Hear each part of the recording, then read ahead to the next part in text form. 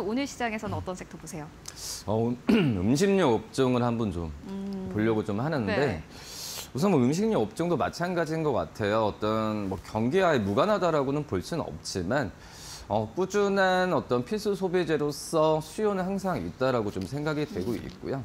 지금 현재 본다고 하더라도 이 뭐 농심, 롯데제가, 오뚜기, 뭐 지금 현재 본다고 해도 올해 좀 매출 3조까지는 어, 굉장히 좀 가능할 만한 상황이라서 이 작년 같은 경우에 매출에 대한 어, 이 3조가 넘는 기업들 많이 안 나왔거든요.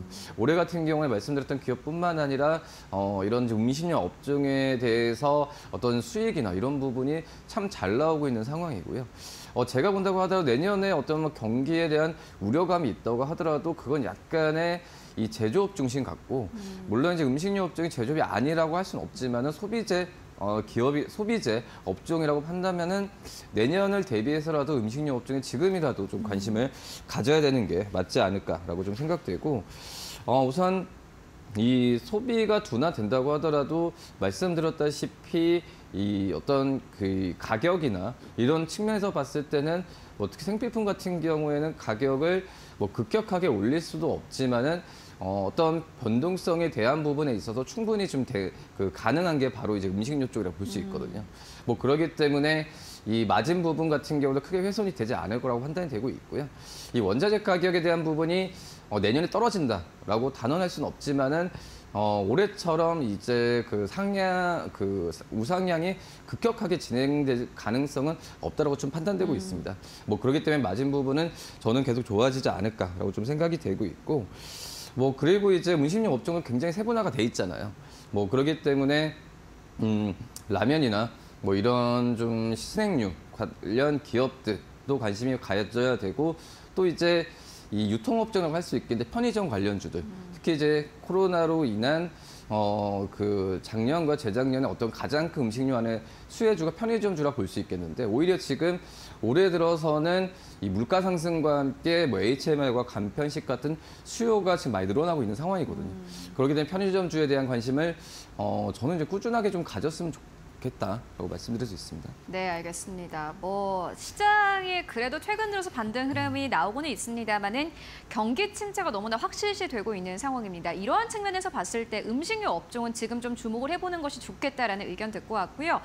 그렇다면 은 음식료 업종 안에서 이성훈 차장님이 이전에 추천을 해주셨 의견을 주셨던 그러한 종목들만큼의 상승률이 나올 만한 기업이 있을까요? 음, 음식료 안에서 지금 현대 그린푸드를 말씀을 드릴 텐데 현대 그린푸드는 어떻게 보면 식자재 기업이지 뭐그 먹는 음식을 뭐 제조하는 기업은 아니잖아요. 네.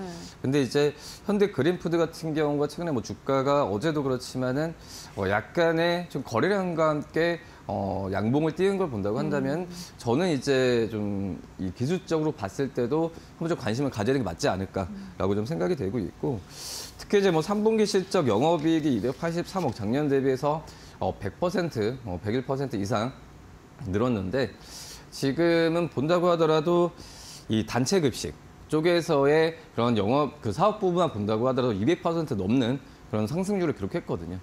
그렇기 때문에 뭐 단체 급식이나 어떤 식자재 유통에 의한 어, 본업에 대한 가치 부분, 그러니까 연결 기준으로 이 영업 3분기 영업이 바- 영업이 본다고 하더라도 이 어떻게 보면은 현대 리바트나 이런 자회사 쪽에서 시적 변동성이 있었지만 이 본업에 대한 가치 부분 같은 경우에는 오히려 좀 더 증가를 하고 있는 그런 상황이거든요. 특히 이제 뭐 단체 급식 같은 경우에는 우리나라 대기업을 상대로 고객을 좀 많이 확보하고 있어요. 뭐 네이버도 그렇고 GS도 그렇고 특히 최근 같은 경우에는 이란 쪽 같은 해외 쪽에서도 지금 수익이 많이 잡히고 있거든요. 뭐 그런 점에서 본다고 한다면 전 단체 급식이나 음, 이쪽에서의 예 본업 가치 그리고 여기에 말씀드렸던 해외 쪽에서 신규 수주는 계속 일어날 가능성이 좀 크다라고 좀 판단되고 있기 때문에 현대 그린푸드를 좀 말씀을 좀 드리도록 하겠고요. 어 지금 이제 현대 그린푸드가 어 약간의 좀 지주회사 견점으로 좀 바뀌었거든요. 그죠. 근데 이거에 대한 음, 자회사들의 뭐 실적이나 그런 분도 중요하겠지만 지주회사 전환 자체라는 부분 같은 경우는 몇 년 전부터 이 기업들의 실적에 대한 기대감을 더 높이는 어떤 모멘텀이 되고 있거든요. 뭐 그러기 때문에 이거에 대한 부분이 주가에 지금 잘 반영이 덜 됐다고 지금 판단되고 있기 때문에 이 지주회사 전환에 대한 어, 어떤 프리미엄 같은 경우에는 결국은 다시 어, 주가에 도움이 될 가능성이 크지 않을까라고 좀 판단되고 있습니다. 그렇다면 가격 전략 어떻게 보세요? 음, 우선 짧게 7,800원 말씀을 드릴 텐데 네. 근데 어, 이 10%의 가격이고 7,800원 넘었을 때는 음. 어, 앞서서 저희가 또 그 종목 리뷰를 했을 때처럼 말씀을 드리겠지만 7,800원 넘었을 때는 추가 매수 관점으로 저는 말씀을 어. 드릴게요. 예. 알겠습니다. 현대 그린푸드 급식이 참 맛있다고 하는데 주가도 예, 기대를 해보도록 하겠습니다. 네, 7,800원대를 보면 좋다라는 의견 주셨고요. 지금까지 이성우 차장과 함께했습니다. 고맙습니다. 네, 감사합니다.